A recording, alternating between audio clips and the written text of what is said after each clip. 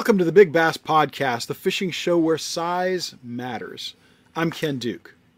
And I'm Terry Battisti. Our producer and engineer is Nathan Benson. And before we get in, uh, in, into this episode of the Big Bass Podcast, I just want to thank all of the people that supported us on uh, our first live issue, or you know episode last week. Uh, it was phenomenal. Ken, I mean, yeah, heart signs, all that you know, emotional stuff that you're so uh, into these days. Um, yeah, it was it was amazing. I mean, I think at the most or at the the peak, we had 110 people on. Over the course of the entire three hours, uh, we had close, to, or it was well over 300 people total. Um, the numbers just blew us away.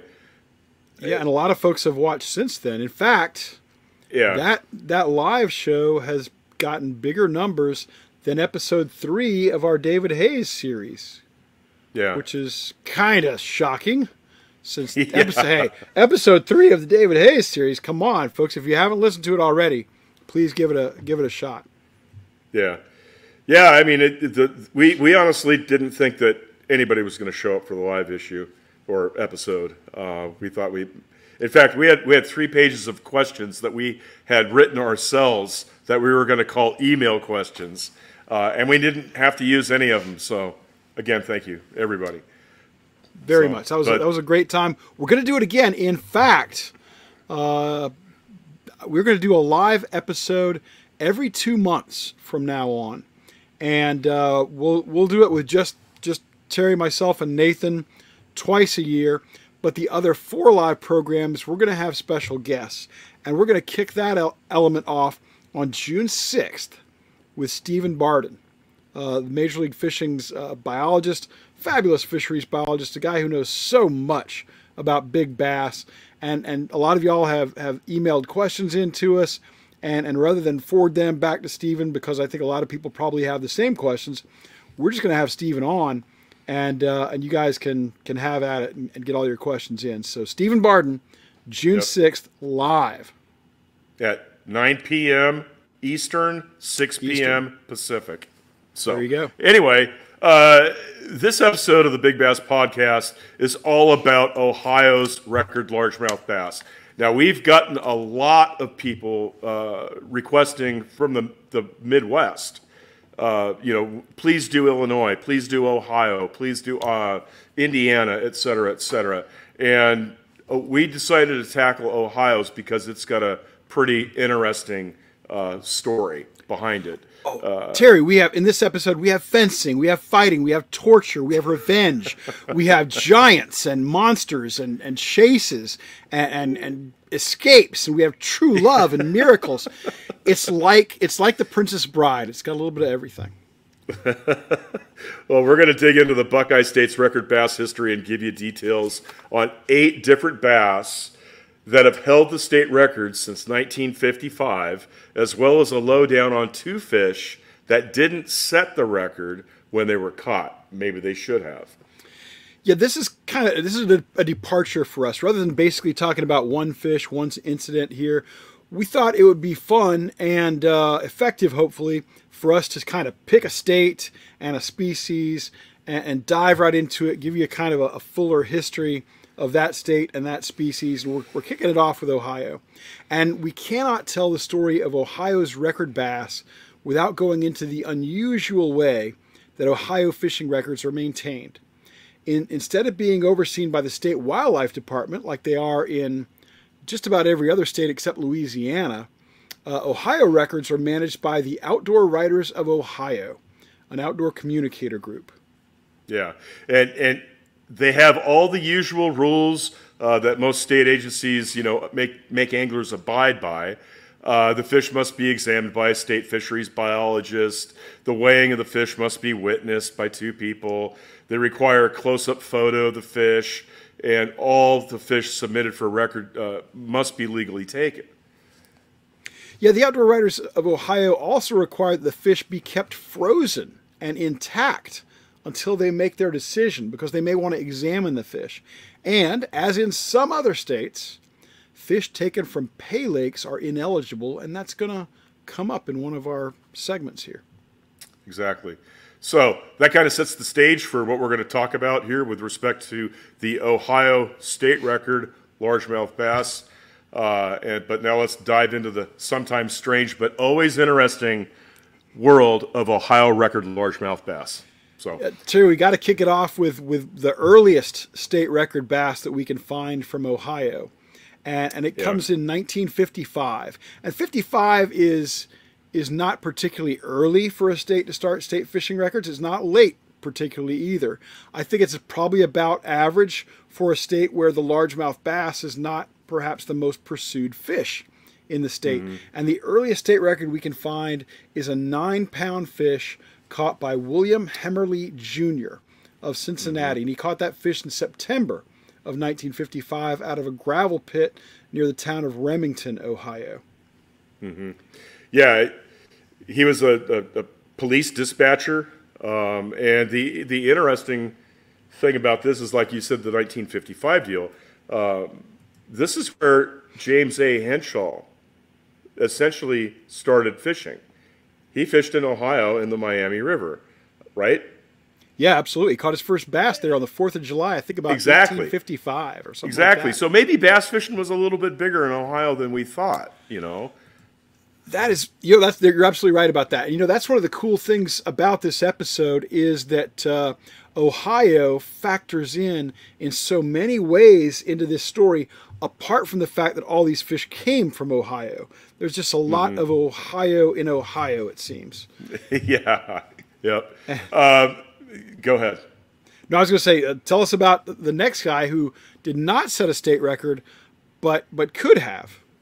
Yeah, so this is an interesting one. Uh, the angler was Elwood Morningstar or Morningstar. I, I I don't know if this was a typo in in the uh, publications that we that we found. Uh, the weight of the fish was nine pounds, seven and one half ounces.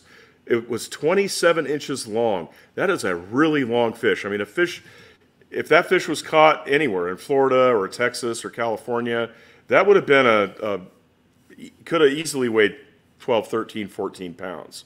Um, really, really long, skinny fish. We don't have a girth measurement on it. Uh, the date of the catch was sometime in 1961. It was caught in a gravel pit in South Miamisburg, Ohio, uh, and the guy was using a minnow, a, you know, live minnow, I assume.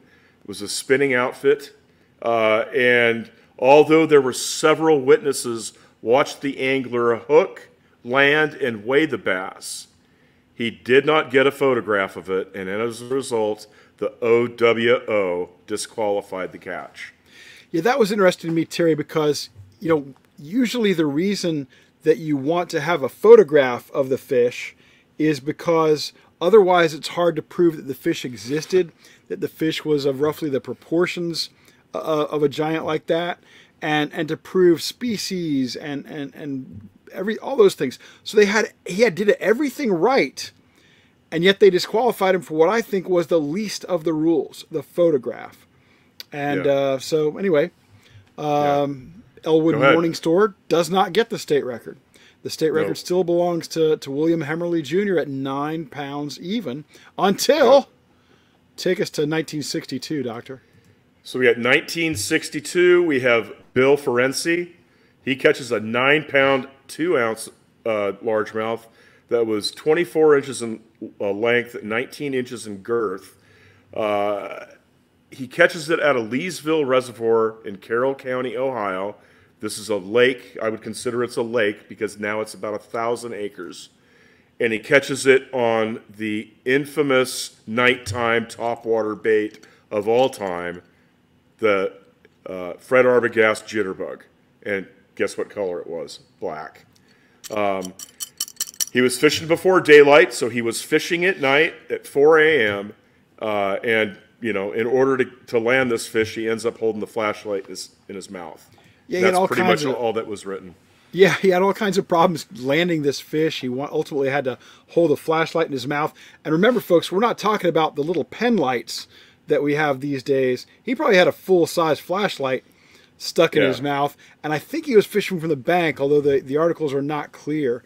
Uh, but anyway, the, the record gains two ounces in 1962.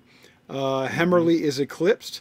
The record now belongs to, to Bill Ferenci, and uh, he's got it for actually less than a year uh, until a 15 year old kid from Cleves, Warsaw Pike, Ohio, named Rick Sage, uh, using a black Crème plastic worm attached to a homemade harness, catches a nine pound, four ounce largemouth. And, and it was 24 and a half inches long, caught out of a farm pond. And, and Terry, one of the interesting things about this was just a couple of weeks after after this young man catches this bass out of a farm pond, it winds up being bulldozed to make way for a new subdivision. So record-setting lake of only about one acre, and then it's gone. Progress is what we call it, right? Yeah, who knows what yeah. genetics were lost? Who knows what what great habitat was lost? Who knows if, if there was potentially another record to be caught out of there one day? Uh, instead, it just got bulldozed, and and and now it's uh, you know somebody's garage. Yep, exactly. So now we're going to talk about the whopper from Chopper. This was a fish caught by Ed Hutchins. Uh, it was a nine pound, eight ounce fish that uh, measured out at 24 and a half inches long. Uh, the date of the catch was May 26, 1966. So the record held for three years. Uh, 66, it's broken on Chopper Lake in Washington County, Ohio. And it's 11 acres in, uh, in size. So I would still consider that a pond. Uh, but it was reserved for the patrons of a motel. Pay Lake restriction of OWO, okay? An outdoor writer in Upper Sandusky, Ohio, and one of the people on the OWO Record Fish Committee speculates that the fish may have been planted in the lake. Okay. Right. So Ed Hutchins, go ahead. You want to talk about Ed, Ed here a little bit? No, go ahead, man. Go for it. Hutchins was the outdoor writer for the Columbus Dispatch, uh, which makes him a writer, and he was part of the OWO and his fish gets put in as the state record. Yeah, and eh, despite the fact that it was caught from a body of water that you pro- in some way you had to pay to fish. You had to mm-hmm. be staying out. Now, what this guy from Sandusky said, Upper Sandusky, Ohio, this outdoor writer, um, he said, "Oh, it was it was from a motel, and you could only uh, fish there if you were paying to stay there." And he really denigrated everything about it. Uh, the Lakeside Resort Colony, which is where uh, which is where Hutchins caught this nine and a half pound fish, was hardly a motel. It was an 837 acre recreation facility that included an 18 hole golf course, a clubhouse, restaurants, boating and water skiing facilities. It was it was a lot bigger than that, but clearly Hutchins had some detractors within the uh, outdoor writers of Ohio, but he obviously had more friends than this guy from Upper Sandusky because Hutch- Hutchins ultimately got certified as the uh, as the new Ohio state record largemouth back in 1966. Yep, kind of shady if you ask me. but like every other record in Ohio, Terry, it doesn't last for long. No, no. So let's go on to Terry Pierce. You gonna go ahead? All, all you, brother. All right, all right. So we got Terry Pierce, uh, May 1st, 1970, catches a nine pound, nine ounce fish. Um, and this one way, or is, it, its length is 22 and a half inches long, 19 inches in girth, uh, from Lake Logan in uh, Lake Logan State Park. So this is about a 400 acre lake. And the, the, the bait he was using was a hustler or a rebel plug, depending upon the source that you read it from, you know, in these newspapers. Yeah, we you, see. You read three newspapers, you get three different answers, right? So true. Now I have no idea what what the hustler lure is, and I'm guessing mm-hmm. that the rebel plug would have been probably you know their their variation on the the Rapala floating minnow, you know the original yeah. rebel uh, floating minnow. But I'm not mm-hmm. sure what the hustler lure might have been. But multiple sources say each one. Multiple sources say hustler. Multiple sources say the rebel plug. Yeah. The interesting thing is that he had been camping there with his dog and caught a 44 inch muskie earlier in the week. Uh, he put the muskie in a grocery store freezer and was about to pick it up to, and drive home when he realized the store had closed for the night. And so he decided to stay another night. and that's when he caught the bass was early the next morning, and so he catches that nine nine and and uh, and bumps Hutchins out uh, by one ounce. Three Yeah. years three years later. And that's 1970. So, since we know that nobody's allowed to hold the largemouth record in Ohio for very long, just uh, you know, a couple of years later, uh, Tom Buck, uh, fishing a strip mine pond in Locust Grove, Ohio, uh, adds some significant weight to this to this record. He he tacks on another nine ounces and go ratchets it up ratchets it up to 10 pounds 2 ounces, eclipsing the Pierce record. This is a 23 inch fish with an 18 inch girth. And once again, Terry, he's The throwing the jitterbug. jitterbug. The black jitterbug. Um, although we we may not know the color of this one, but We're not sure about the color on that, and uh, but and this is a musky jitterbug, folks, which is kind of the legendary big bass lure and the one everybody used to want to throw at night, and still a lot of people do. But that was the bait. The, bait that that Buck fished was a jitterbug. We're going to talk more about the jitterbug in, in just a few minutes. Ken, let's go to Bill Braden. Bill Braden. Ah, this is this is what drew me to Ohio and the and the record largemouth thing. Uh, Bill Braden. Okay, let's set the stage a little bit. The uh, the state record in uh, in Ohio at this point is just nine pounds nine ounces. It belongs to Terry Pierce. Um, but then along comes this guy from Bill Braden. He lives in Canton, Ohio. And he, on August 24th, 1972, which I'll throw this out there, was the day Aaron Martins was born.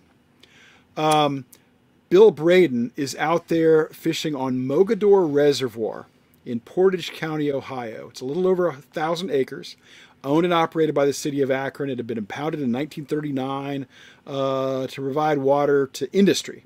You can still fish this lake today, but it's restricted to electric motors only. Back then, you couldn't have any motor of any kind on it.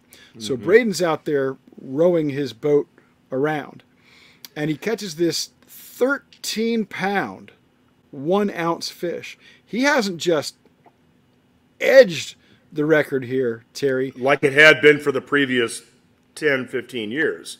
Yeah, for, for the previous almost 20 years, the record has Yeah. been increasing by two ounces, four ounces, uh, in one case, nine ounces. But this time, he's blown it away by three and a half pounds. Yeah. The, the, the length of this fish is either 23 and a half or 25 or 25 and a half inches, uh, depending on which source you want to buy into. And its girth 22 or 22 and a quarter. Uh, and according to a scale sample, the fish was about 11 years old. For an 11 year old fish to reach 13 pounds in Ohio, that would That's- be extraordinary. Yeah. Extraordinary. Absolutely. Yep. And it's another case of a, a plastic worm getting the job done. And keep in mind, plastic worms were invented in Ohio. Uh, this case, it was a Mann's jelly worm in grape. As was the Fred Arbogast jitterbug. There you go. Yeah. Akron, Ohio. Look at all look at all now now the the Mann's jelly worm came out of Eufaula, Alabama, but, Yeah. but look at all the Ohio baits that are being used to catch Ohio record fish. That's very unusual. Pretty cool.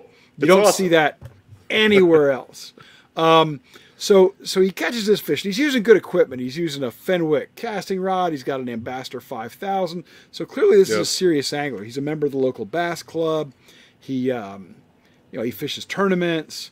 Um, and now he comes up with this 13 pound one ounce fish and he wants to get it certified and recognized as a state record because he knows Yep. what the state record is. This is a guy who caught an eight pound nine ounce fish from the same lake uh, just a year earlier. So he knows what a big fish looks like. And of course he submits his catch to the outdoor writers of ohio and and they set up a three person panel to investigate this fish. And, and terry the the letter from one of the guys on the panel uh, that he sent to the chairman of the record fish committee was published in its entirety back then and it Yes, is a was. hoot it is it is a hoot Oh, yeah. Absolutely. I mean, he. Uh, Go ahead. no no I, I, I'm, I'm i'm still laughing about that letter it's it's hilarious Yeah, it, it, it so the, the letter essentially said that you know, I'm not going to sign this fish on. You guys do what you want. Yeah. It's yeah. There's too many too many questions about this fish, but were they legit questions? That's, Exactly. He, he makes a lot of points in this letter. And one is he says, Oh, we're still waiting for some out of state opinions about scale studies and, and the results of some tissue samples. And, uh, and we're, you know, the, the Ohio Division of Wildlife uh, uh, saw it the day it was caught, but it was near death sitting in a minnow tank at a store about 30 miles away. Uh, He points out that there were no witnesses to the catch and that the angler could not prove he was even there at the lake that day. Uh, one of the reasons he couldn't prove he was at the lake was because you were supposed to pay a ramp fee before you, you launched your boat and went fishing, and the angler didn't do that. yeah. um, And there was no record of him renting a boat. No record of him renting a boat, no record of him getting the launch fee, no record of anybody seeing him there, no record of anybody seeing his vehicle there. Some issues. Um, what what troubled this outdoor writer, though, along with those things, was that although there were other anglers on the water, Braden didn't stop to show the fish off to them. Which Uh, is kind of weird. Which is well, maybe, but you know, who are we to be the arbiter of how a guy should react to catching a, a record fish? You know, Right. instead, what he did was he started paddling because remember, no motors out there. Started paddling for the shore and the ramp, which is about three quarters of a mile away. Uh, now, after he left the ramp, he drove right past a roadside bait store, which was also a fish weighing station, and he didn't stop to show the fish there either. Yep. Um, the superintendent didn't see Braden, his car, nothing like we talked about. Uh, he he even accused Braden of stealing a mounted duck out of the superintendent's station. Yeah, exactly. I mean, this Braden guy was not liked. Uh, He was, he was not liked. He was kind of a sketchy dude. He did have a hunting violation on his record. He uh, he was out hunting ducks one day, and he had three already in his bag. The limit was four. He claimed he shot one more time, and the one shot took two ducks down, and so he was one over his limit, and he got a citation and had to pay a fine for that. Um, that's coyote food. I mean, you you don't take that extra duck home. You leave it and and and you know give it to the coyotes. Anybody Well, the- would do that. the superintendent out at the lake was really skeptical about it. He said, you know, hey, if, if this is a 13 pound fish, where are all the 9, 10, 11, and 12 pounders, which would have almost have had to show up for it to Mm-hmm. produce a 13?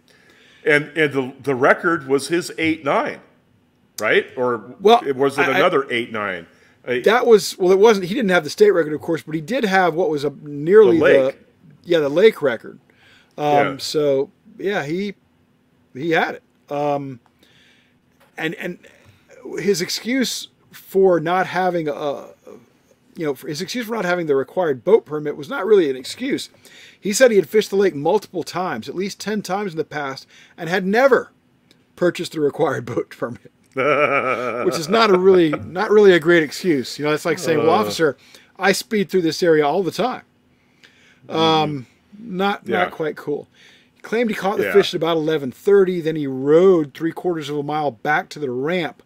He did not have the fish hanging from a stringer. Instead, he had the fish laying in the bottom of his boat. This is August. Had the fish Yeah. laying in the bottom of his boat, covered by a wet rag. And when he got to the ramp, he wrapped his fish in a wet towel, and then he drove 31 minutes to the home of the Bass Club secretary and showed the fish off there. Uh, they took Yep. some pictures, and then he drove to the store where it was officially weighed. And that store was Yeah. owned by a buddy of his. Um, so the fish was out of the water for at least an hour and 15 minutes before it was weighed and then put in the minnow tank at the store. And when the biologist got there, he said the fish was still alive. That's impossible. It's not a catfish. You could do that with a catfish. You can't do do that. that with a bait. Holy mackerel! Yeah, I mean, it, there's just a ton of red flags, red lights going up. I mean, it just it doesn't look good for Braden. Does not look good for Braden, and it gets a little bit worse but uh, worse perhaps only in the eyes of the uh, outdoor writers of Ohio. Um, and here's one of the great names in uh, the Big Bass podcast a uh, fisheries management supervisor for, for the Ohio Division of Wildlife. His name was Clayton Lakes. Uh, and Mr. Lakes, Mr. Lakes did an investigation and found that the, the fish, Braden's fish, had some genetic origin associated with the Florida subspecies. Uh, and we know that Florida subspecies is the one with the greatest propensity for growth and so forth. And a professor at Ohio State University, wide left, as the University of Georgia grad here would tell you, wide left and short.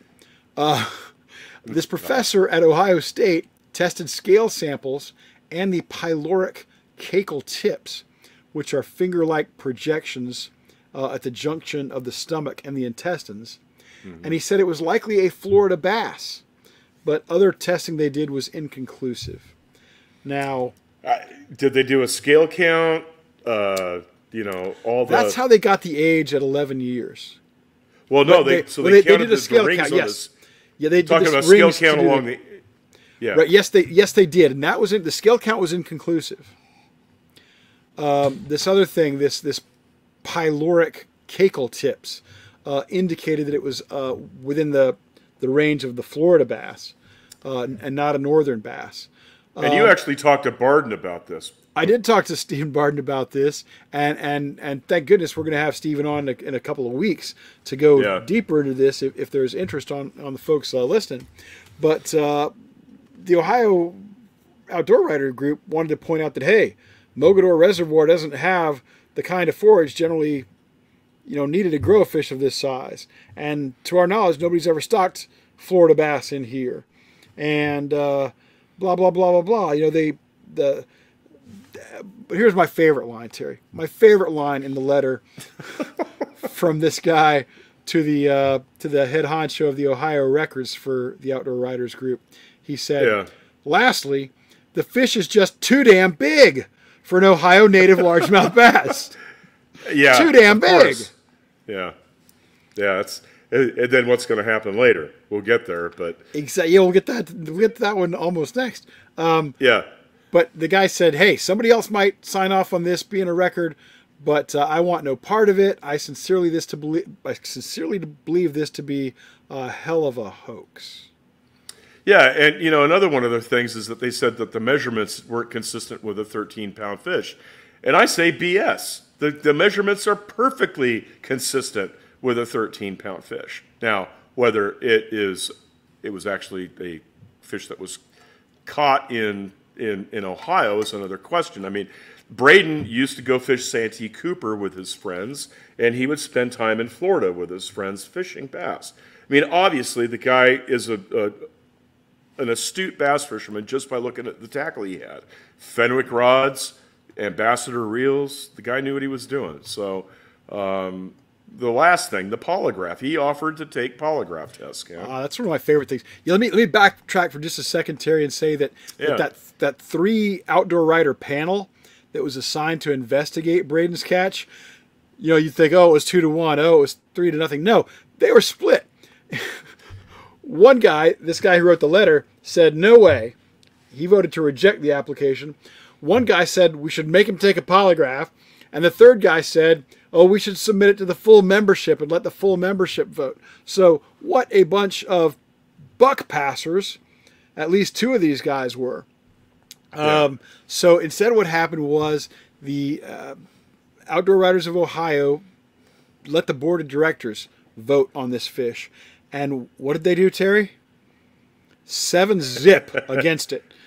yeah. No, no waffling there. Seven zip. They Yep. they rejected it, and so did Field and Stream. You know, because Braden submitted this to be the northern uh, largemouth uh, in their in their big fish their annual big fish contest. and Yeah, I mean, this is they they didn't give that up until '78 to IGFA. Right, So they're right. still doing the field and stream, you know, big fish contest. and, and so many great lines came out of of this story. Uh, for example, the the chairman of the Outdoor Writers of Ohio Record Fish Committee said, "The fish shows signs of being in Florida. or some other southern area at some time Was it, during its was it life. vacationing down there? Was it? Did it have a tan? Was it wearing sandals? Did it have a white belt and socks with sand? What does that even mean? Who cares if the fish had ever been in Florida? Who cares if the fish had Florida genetics? That should not disqualify it as a record in, the state of Ohio. It might have been some bucket biology at work. Uh, we can't really tell. And the genetics of it all doesn't give us the answer either. Uh, Braden, as you might imagine, was pretty pissed off. Uh, he threatened some legal action, but as far as we can tell, he never pursued that. And Right. uh, and as you said, the uh, the polygraph thing got interesting when uh, when Bassmaster Magazine decided to to dig into that story and uh, and and- tell it. And the guy who told the story in Bassmaster Magazine was a guy named uh, I believe it was uh, Miller was his name, and, and he wrote a pretty good rundown of what was going on there with the the Braden fish and and and he asked Braden if he would take a polygraph, and Braden said sure. And but Braden said if I take a polygraph and I pass, you got to guarantee me that I go in the record book, and and the outdoor writer and the outdoor writers of Ohio would not agree to that. Yeah.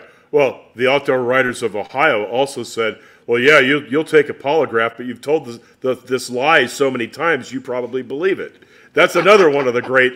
That's another one of the great lines out of this. Is is you know you you you can't. Braden wasn't going to win from the word go. Was not gonna was not going to win.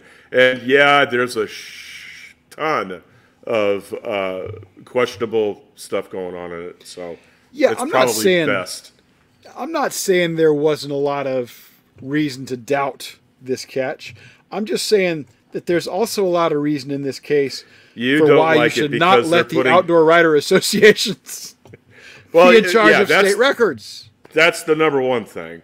Uh, but you, you're just mad that a Florida fish didn't get put in a, as a state record. That's what, what what's got your craw right now. Terry, we've got all we've got all the other states. Don't worry about it. We got them all. We're basic. We got to basically got them all.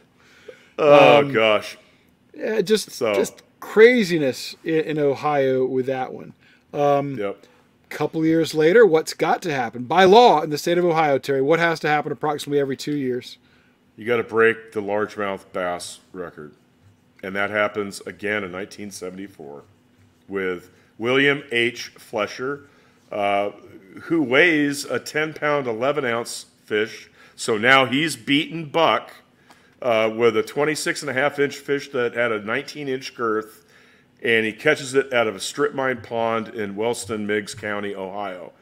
Um, live bluegill was was the bait that he used, and this is another really really cool story. Yes.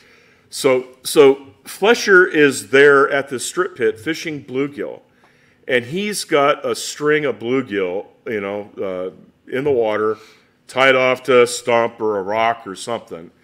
And he sees this big bass come up and take a swipe at his stringer. And what does the smart angler do uh, when something like that happens? He pins a bluegill on a bait, puts it below a bobber, casts it out, and the next thing you know, he's on a 10 pound, 11 ounce fish.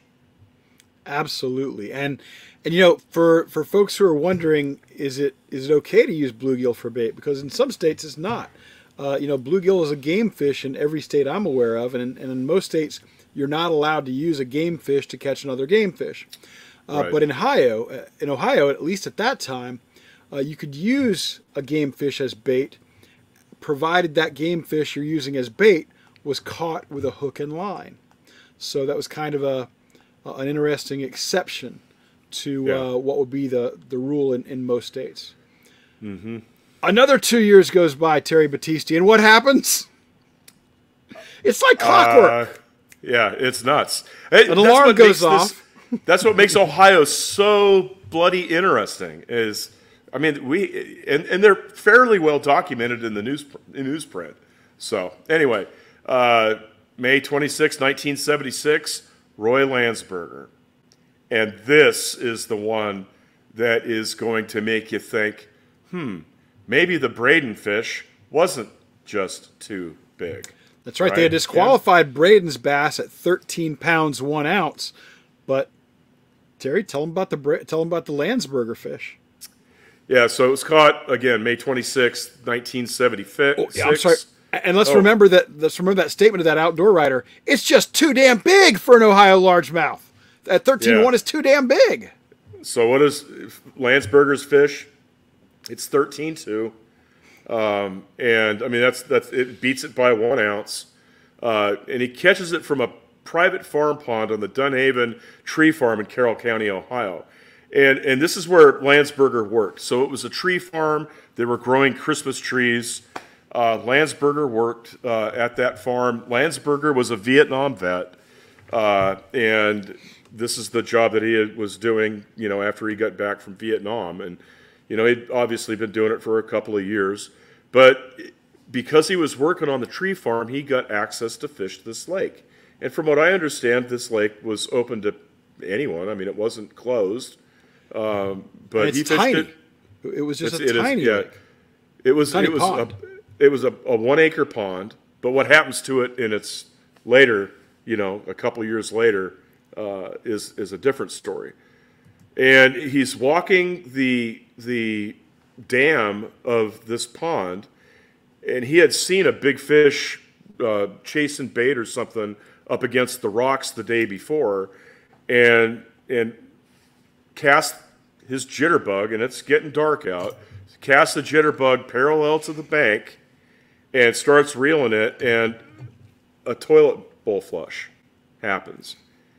Uh, I mean, it's the only way you could describe it, I would assume. And and uh, he hooks this fish and gets it in, and he's he's pretty dang excited. So he goes and gets the owner of the tree farm, and uh, you know they they take some pictures and weigh the fish on a a, a bathroom scale, kind of like uh, Paul what's his name Duclos. Northern Paul Duclos did, and and they come up with a, a 14 pound one ounce weight. But they also call a department of no, it wasn't the bath that wasn't the bathroom scale. Uh, they call a Department of Fish and Game guy to come out real quick, and he Yeah. comes out and he actually brings own a baby. scales. He's got his own scales, and it's a baby scale, one Yeah. that you would weigh infants on, and it pulls that scale down to 14.1 and they're they're all excited. But this fish is spitting eggs, uh, and but they can't get a Department of Fish and Game person to come out and verify it. Uh, so they they wrapped it and put it in the freezer uh, that night, and then the next day they had three people come out and and verify this fish. And when they did, it weighed 13 pounds two ounces. So it lost a pound. You know, uh, seven percent of its weight uh, overnight, which Yeah. I think we, we need to talk to. I think that's well within the realm of, of losing because you're you're not just losing egg weight, you're losing water weight and, and stuff like that. But it, it lost a, a ton of weight. Yeah. You know, Terry, when I think of that fish, I think it was just too damn big for an Ohio largemouth. No, I don't believe that. Exactly. yes, it was a big fish. Uh, the, the one of the cool things about it, so the uh, this one acre pond, there was not just this one pond on on on this tree farm. There was a number of ponds, and what they ended up doing is they ended up bulldozing all and creating one large 36 acre pond that they ended up giving to the Boy Scouts of Ohio, and uh, but the, they still have those genetics in, in in that big pond now.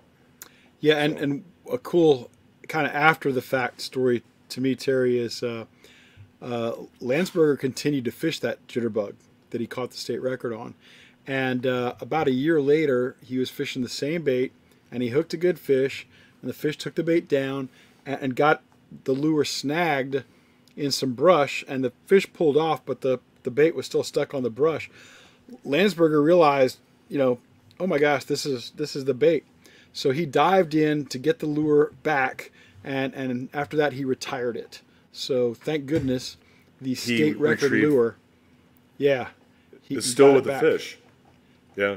Yeah, yeah. So it's still with the fish, and for a while that fish was uh, was on display in the Carrollton, Ohio Dairy Queen. I don't know if it's still Yeah, is, that's- but That'd be in the. DQ. DQ, yeah. Yeah, the a lot of DQs in Ohio, but that's not one of them. but but I, I keep coming back to how cool it is that so many of these Ohio fish are caught on important Ohio baits. And Yeah. uh, we'd, we'd be remiss if we didn't talk a little bit about that uh, and about one of the most legendary lures of all time in the bass world. yeah. Arguably, arguably, the most legendary topwater bait. Wouldn't you say? Especially for nighttime fishing. Oh, Um, you hands know, down. yeah, it, it, y y I remember reading Bassmaster in that 74, 75 through the early 80s. And if you were talking about nighttime bass fishing, it was not a nighttime bass fishing article if it didn't have an Arbogast jitterbug in it. Uh, it, it. I used it as a kid uh, fishing the golf courses uh, at night. I mean, it was it, it worked. It still works. Nobody throws it anymore. You know, I mean, the funny thing is, is that you know, there's a lot of people, a lot of bait companies or bait guys, garage bait guys that are bringing back the crazy crawler, except they're making Yes. them huge. Nobody, nobody has brought back the jitterbug, and folks that are making baits, you're missing out. You know, so and and people don't realize that the name Arbogast was a, man's name, and, and that was Fred Arbogast, who uh, yeah. Who died a long time ago. He He, a died at the age of 47. Yeah, he, died, at the he, age he lived a short life. He died in, in 1847. Actually, he was a No, he was nine- about 53. 1947. I'm sorry, yes, yes. and uh, he was about 53 years old. oh, I thought he was. uh, I didn't think he hit 50. I thought he did. Eh, look him up, folks. We'll figure. Look him up. Yeah, look him up. as, as our friend uh, Brian the Carpenter would say, Google it. Uh, Yeah. But anyway, uh, Arbogast spent his entire life in Akron, Ohio, and he was a world class and record setting uh, bait and fly caster. And he started Yep. Fred Arbogast Company in 1926. And apart from the jitterbug, he's also enormously well known for the hula popper and the Hawaiian wiggler. But Terry, you're the you're the lure guru of the Big Bass Podcast. Tell us a little bit more about the uh, jitterbug itself. Yeah, so the jitterbug was uh, brought out in 1932, I believe, and I'm sure Bill Sonnet will correct me if I'm wrong. Yes. uh, I believe it was Bill. 1930. yeah, Hold, hold, knock it, me hold him to the fire. Exactly. I think it was. I'm pretty sure it was 1932 when it was brought out. It was brought out in wood, um, and it was manufactured that way all the way with. So it was wood with the metal cup for the uh, for the face, and I believe the lure was initially meant to be a diver, and he thought that that lip, the way it was, would make the bait dive better. Uh, and what it ended up doing was creating this surface lure that was unmatched in its time. There was nothing like it ever, you know, prior to that. Uh, and so it was made that way all the way up until 1941, 1942, when all the metal uh, was being used for the war effort. And you can find jitterbugs that have a plastic lip uh, and, and those are all from the, the, the 1940s, 40, 41 uh, or 42 through 45, uh, because they couldn't get the metal for the lip and they had to use plastic. And then sometime after the war, probably in, I think it's uh, around 48 or 49, they start manufacturing a copy of it in plastic.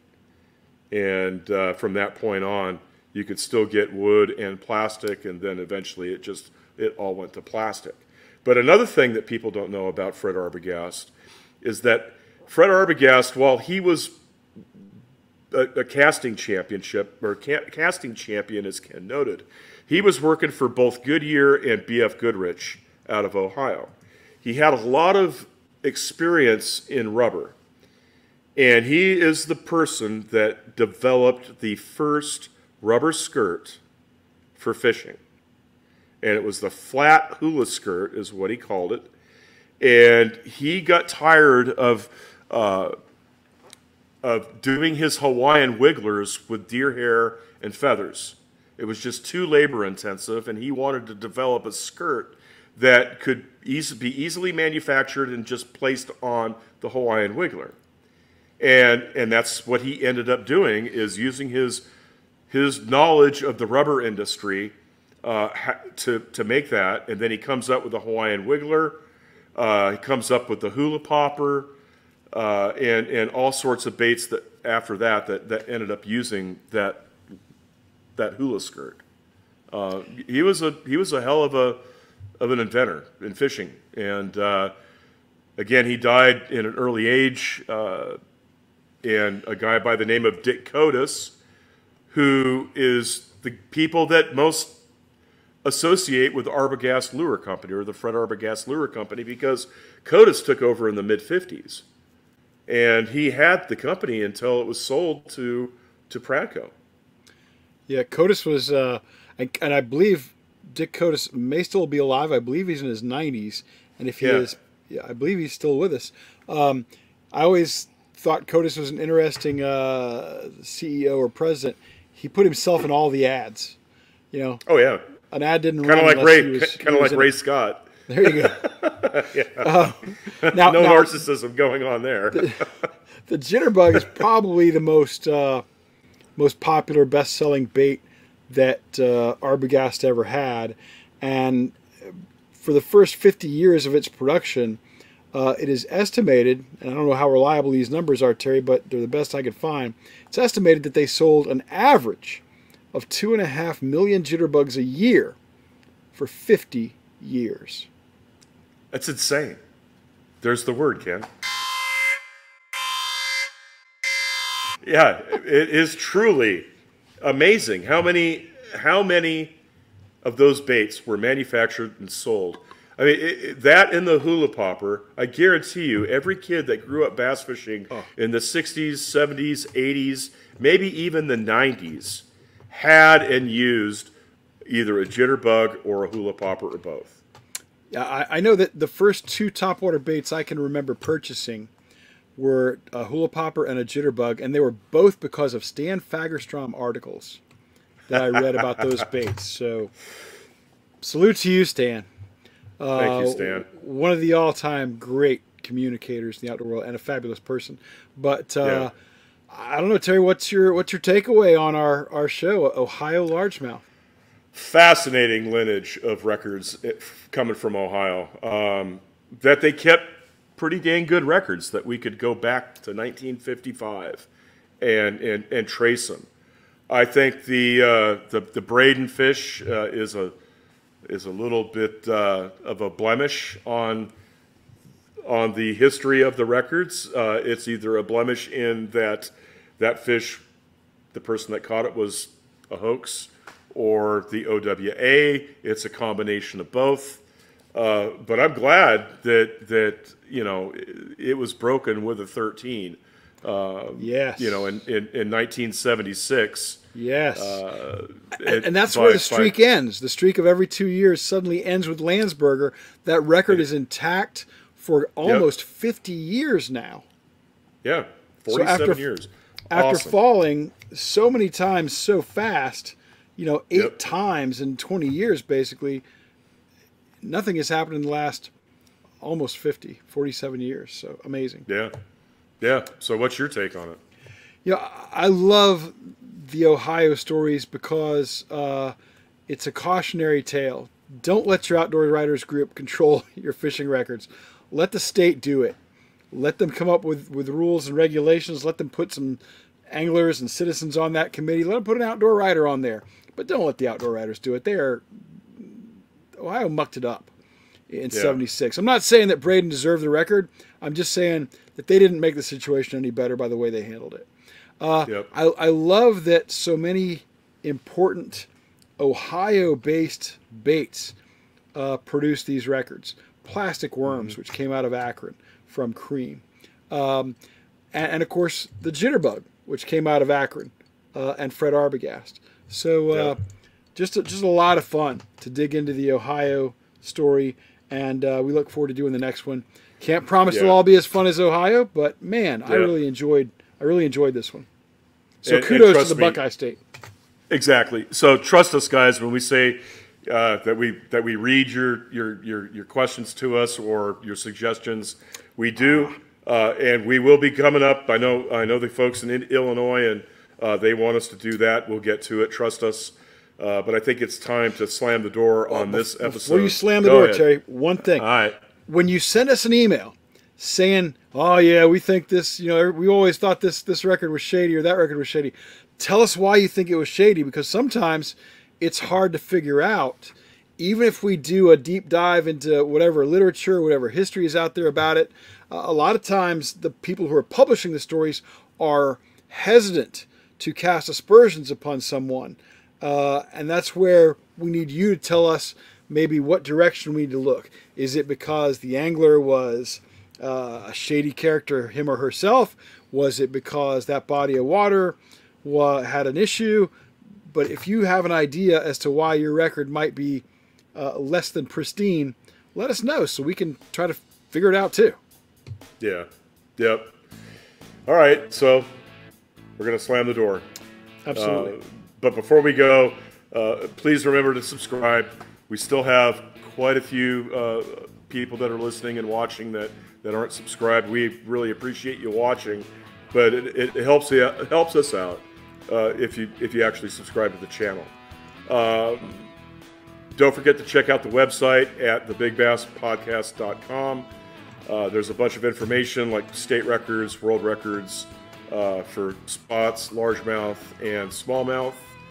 Uh, and if you want to contact us, you know, our emails are ken at thebigbasspodcast.com, Terry at thebigbasspodcast.com, and Nathan at thebigbasspodcast.com. We, we read everything. We read all your comments. We try to reply to everything. I don't think we have missed anything so far. I hope not. And yeah, so, but uh, anyway, I'm, I'm Terry Battisti, and on behalf of my partners, Ken Duke and Nathan Benson, thank you for joining us. Be sure to check, it check us out next week. We'll have a new show about a different big bass and it, with a story that you will not and cannot find anywhere else. And remember, size matters.